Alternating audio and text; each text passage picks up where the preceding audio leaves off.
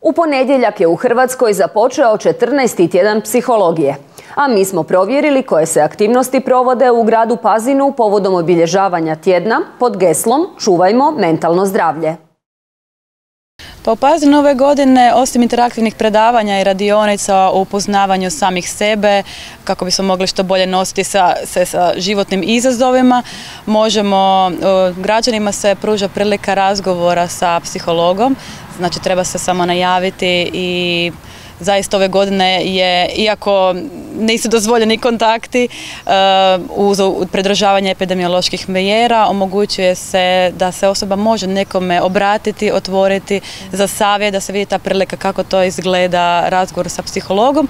Osim toga, u osnovnoj školi se priprema radionica i rezultati istraživanja što i kako um, sa online nastavu, kako preživjeti online nastavu i sa e, volontiranjem. Kako volontirati, što postižemo s volontiranjem, uh, kako zapravo volontiranje mijenja naše živote i lokalnu zajednicu. Tema mentalnog zdravlja svakako je jedna o kojoj se premalo govori, a psiholozi upozoravaju da je to važan dio našega zdravlja kojem trebamo posvetiti pažnju, posebice u ovim neobičnim vremenima promjena i rasta stresa. Da, mentalno zdravlje je tema koja je ove godine malo više u prvom planu i nama je drago da je zapravo došla došlo je to na pozornicu i na dnevni red. Smatramo da mentalno zdravlje tekako ima velik utjecaj na fizičko zdravlje, odražava se posebice u neke tegobe koje ukoliko na, vreme, na vrijeme ih ne prepoznamo, onda samo one se nagomilaju i to prerasta u veliki problem. Naravno, stres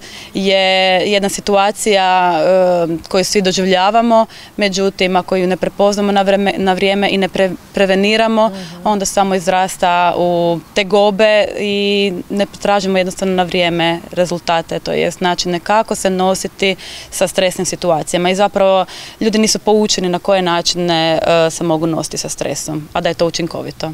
Inače, tjedan psihologije prvi se put organizirao 2008. godine kada se obilježavalo 55 godina postojanja najstarije strukovne udruge psihologa.